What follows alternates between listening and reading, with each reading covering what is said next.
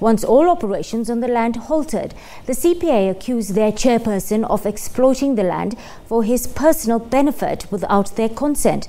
Rama City, which has a mine quarry and a resort, was handed back to its beneficiaries in 2002 following a successful land claim. Lizzie Zwane's family was among those forcefully removed from Rama City during apartheid. The quarry and resort on the land generate income. But the Communal Property Association claims the chair is pocketing the money.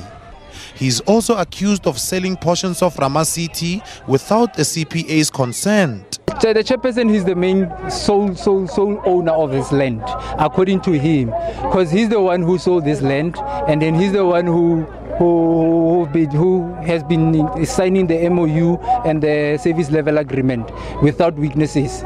Other members of the CPA also accused the chair of intimidating them. I know he's looking for me.